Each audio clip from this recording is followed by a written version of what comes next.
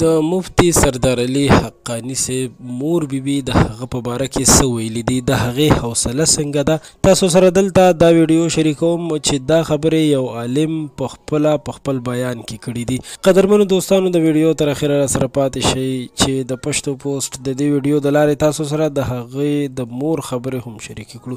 قدرمنو دوستانو تاسو ته معلومه ده چې مفتي سردار علي حقاني صاحب اوس زمونږ په منځ کې نشته او شهید شوی دی د هغه رور خبره کوي چې مور مې راته یوه ورځ وویل چې ما د مفتي سردار علي حقاني صاحب یعنې د خپل زوی قبر له بوزه وایي چې کله سهار شو نو ما ورته وویل چې راځه بودیزم هغه وایي چې ما ځان سره په موټر سایکل باندې کېنوله په لاره باندې روانو خو په لاره مې ورته تسلي هم ورکوله چې مورې مه خپه کېږه، ځکه چې همدغه د دنیا ژوند دی، په دې دنیا کې به هېڅوک هم نه پاتې کېږي، نو خپل ځان په کنټرول کې وساته. خو چې کله زما مور د هغه قبر ته ودرېدله او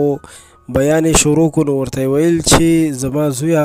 تا به ویل چې قبرونو ته مه ځئ او قبرونو خوا ته مه ورځئ او ښځې خو بلکل نه ده په کار چې قبرونو ته لاړې شي، خو زه تا ته دې لپاره نه یم راغلې چې ستا قبر ته راشم، بلکې د دې لپاره راغلې یم چې ستا ته د نوي کور مبارکي درکړم چې ته نوي کور ته راغلی هغې دا خبره ځکه په پوره یقین سره کوله چې زوی شهید او الله تعالی به ورته قسمه قسم نعمتونه ورکړي وي الله تعالی دې د دوی کورنۍ ته د زړه صبر ورکړي دعا به کوو چې الله تعالی دې دوی خوشحاله وساتي ځکه چې یو ډیر لوی غم د دوی په کور باندې راغلی دی